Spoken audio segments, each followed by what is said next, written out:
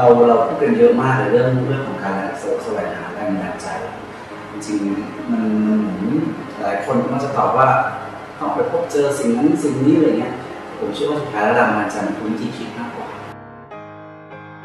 รู้จักมองรู้จักใคร่ครวญมันแล้วก็จับมผสมผสานกับวิธีคิดเรา มันก็เป็นแรงบันดาลใจได้เสมอท้ายแล้วการการหาแรงบันดาลใจมันไม่สำ ดว่าสำหรับผมใน passion มันคือศูนย์มันคือยังไม่เริ่มนับหนึ่ง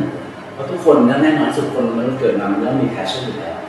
ที่จะใช้ชีวิตในในสิ่งที่เรามีความสุขมันคือธรรมชาติของมนุษย์แต่สิ่งที่สำคัญที่สุดหลังจากที่เราค้นพบในสิ่งที่เราชอบอยากจะทำทำให้เรามีความสุขนะความมีใจจดใจจ่อกับสิ่งที่เรารักและเราอยากทำพอเรามีใจจดใจจ่อกับสิ่งที่มันน่าจะเกิดขึ้น แล้วมันมีประโยชน์กับชีวิตมากกว่าก็คือมันจะเกิด